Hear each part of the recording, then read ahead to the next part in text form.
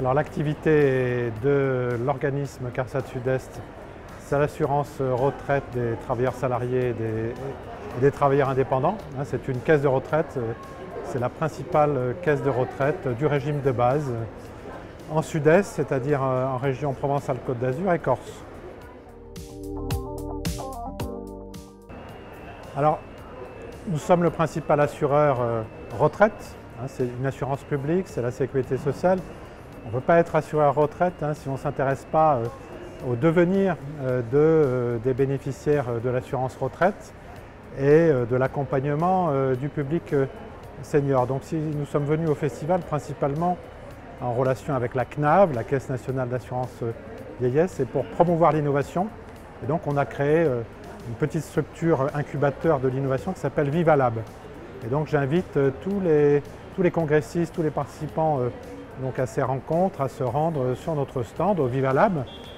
S'ils sont promoteurs ou euh, s'ils réfléchissent à un projet, de se faire éventuellement accompagner par VivaLab et la CARSAT Sud-Est hein, pour booster leur projet.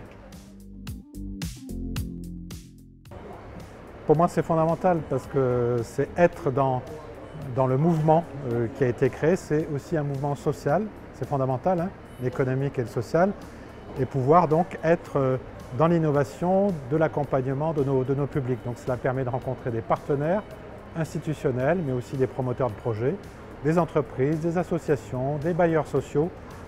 C'est un lieu où quelque part on a euh, la, possibilité de nouer des contacts, prolonger des projets France entière, puisque ce, ce festival est tourné vers la France entière et plus particulièrement en sud-est puisque nous y sommes implantés.